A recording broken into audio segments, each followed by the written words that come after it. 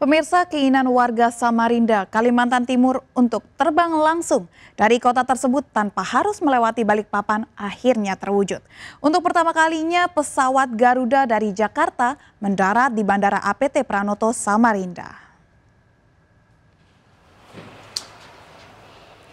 Pesawat Garuda Indonesia dengan nomor penerbangan GA581 dari Jakarta tujuan Samarinda mendarat mulus disambut semprotan air atau water salute di Bandara Aji Pangeran Tumenggung, Pranoto, Samarinda. Pesawat mengangkut 120 penumpang. Penerbangan langsung dari dan ke Samarinda dapat menghemat waktu dan biaya karena tak perlu melewati Balikpapan yang memakan waktu hingga 3 jam perjalanan darat. Selain Garuda, maskapai Batik Air dan Lion Air juga akan segera melayani Samarinda Jakarta, Makassar, Surabaya, dan Express Air dengan rute Samarinda Yogyakarta.